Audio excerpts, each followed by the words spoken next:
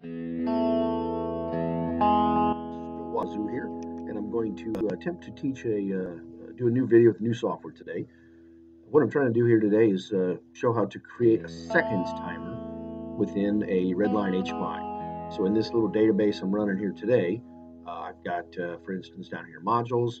I've got a DIO card connected here to slot number two, and I've got some discrete tags, uh, flag tags, of course, mapped to input one and input 2. Input 1 I have named gate status and what I've done with that particular unit is I've changed the text to say gate open when it's on and gate closed when it's uh, closed and then I just have another one called reset timer and I typed in there reset to zero. Let me first uh, show you the demo here. So here I am running the web page and you can see if I turn on input number one see that the gate status goes from gate closed to gate open perfect. And if I hit the other one, you can see that it triggers reset to zero. Now what I'd like to do in this example is I would like to keep track in seconds how long the gate is opened. So every time the gate opens, I would like to keep track in seconds how long it's in the open state. So what I'll do to uh, uh, make this occur is I'm going to go over to the left-hand side in Crimson and click on Programs over here to the left. I'm going to go ahead and insert a new program by clicking this button right here, new program right here. Uh, generally, when you first come in here, you probably have a program, but I've deleted it, so I'm going to add a new program. So what I want to do here is anytime the gate status goes on, I want to increment some kind of a seconds counter. So I'm just going to make a little text here. Say here, um, if gate open or gate status is on, then increment a timer. Okay, so I'm just the two forward slashes there indicates a text. So I'll hit enter the next line, and I'm going to type if open parentheses. I'll go over here to the right side, and I'm just going to the easiest way to do it is to just grab the appropriate tag and drag it down here this way, the gate status. Now you can either leave it with a closed parentheses, and that will infer that when that thing goes on, it'll do this. Or another way to look at this is you can put two equal signs and a number one, and then in parentheses.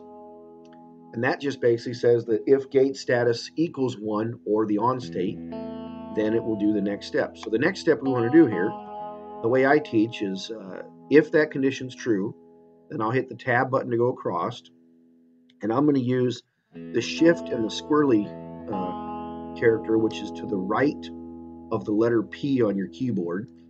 And then I'll hit enter, and then I'll say here, uh, increment. Let's say, I can't seem to spell today. Increment my uh, uh open timer by one second. So this is just a text. So then I'm going to say down here, my open timer equals my open timer plus one. Now that's the end of a statement here in the C programming section. So I'm going to put a semicolon at the end and then I'll hit enter again. And down below here, I'm going to do shift and the close brackets here because that's the end of that statement. All right, so there's the extent of our C code. Now, anytime in Crimson that you happen to do the code here, you've got to hit this translate button right here. This little button right here is the translate or compile button. So watch what happens when I do that. When I hit this button, it's going to go through and translate the code, and it's going to say, hey, wait a minute. You've got a timer here called, or a new tag called my open timer that Crimson did not just, you know, did not find over here.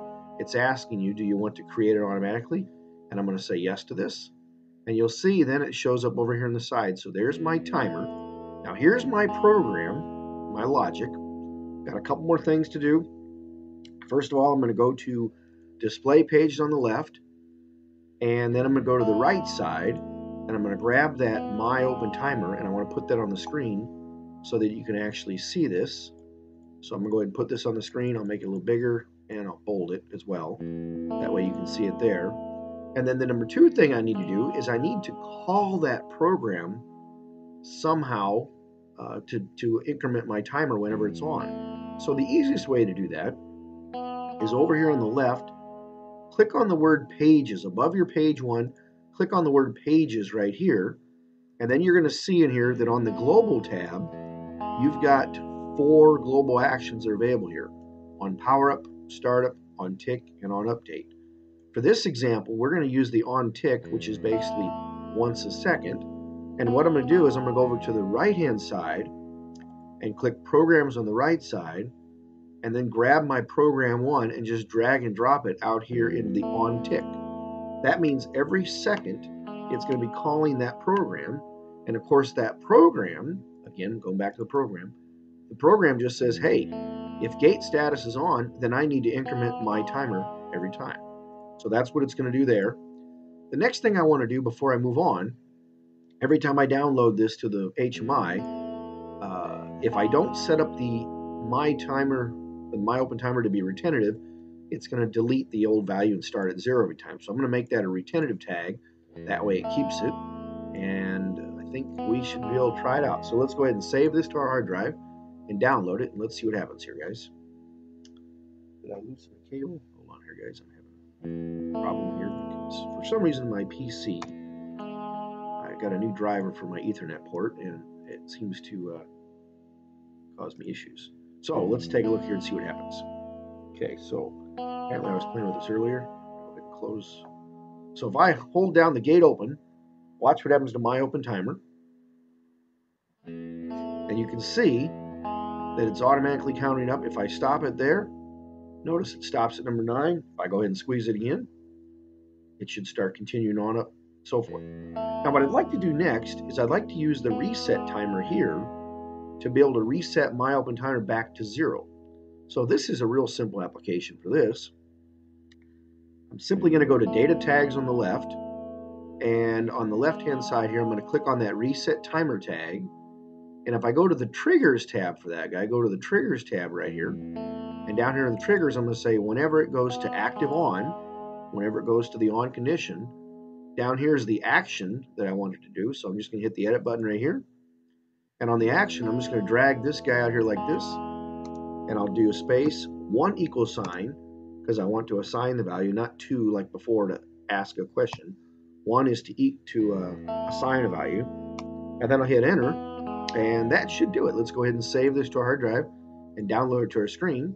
And now if we go back to our web page so you all can see really what's happening. Notice I wait for the signals to come here.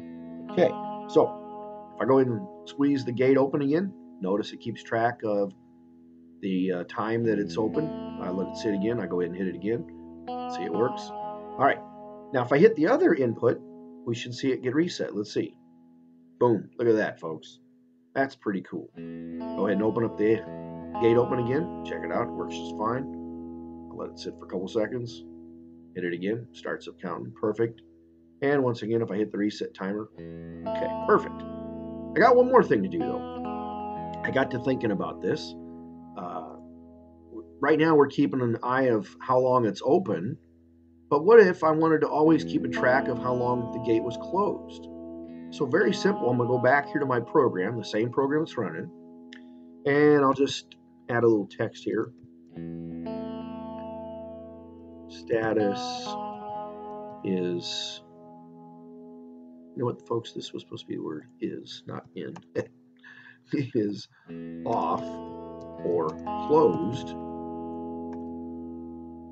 Then increment another timer to keep track of this time. So I'll do this if open parentheses. Now this one's a little trickier. I can either do it like this and do the zero, or if you were more of a, a C programmer, you could do this and put an explanation point in the beginning of this, which is the not signal when you're in the C world, explanation point there in the beginning. And I'll tab across and do just like before.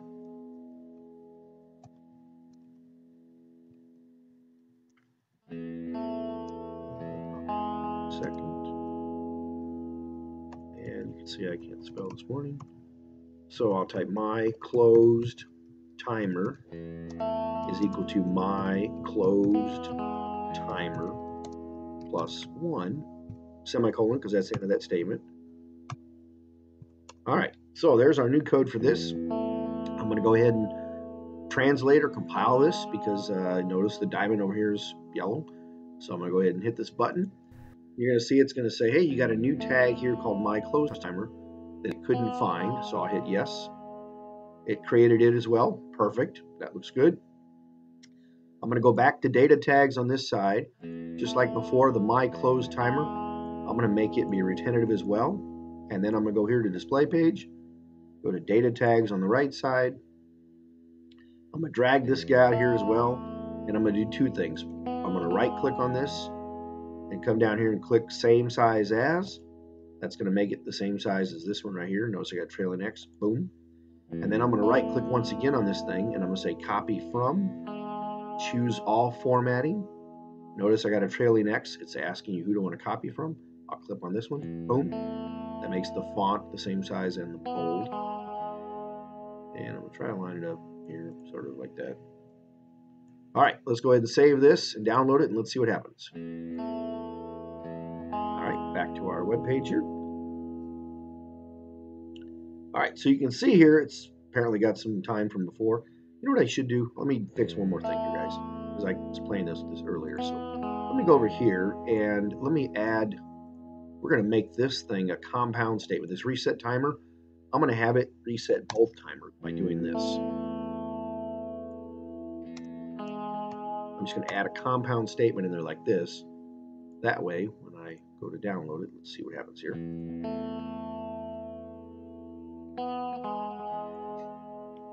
All right, I'm going to go ahead and reset both timers by holding the reset timer in. Look at, they both went to zero. Perfect. Now, you can see that the my close timer is always cranking away. But if I go turn on the gate status to open, watch what happens. Here we go. You'll see right away that the my open timer now starts to add up while the close timer is stopped. So if I let go over here, boom, the close timer starts to work again. rocks and roll, keeps on keeping track of things. And once again, if I go ahead and push in, say, the gate open, you'll see that it starts keeping tally and so forth. So that's just a quick example of how you can use the on tick function in the display pages, the on tick right here, to call a program once a second to create some kind of timers in your Red Lion HMI. So uh, hopefully that uh, is enlightening to you. If you got any questions or so forth, don't be afraid to send me a uh, note on uh, YouTube and I'll try to get back to you as soon as possible. Hey, thanks a lot. Have a great day. And thank you again for buying Red Lion.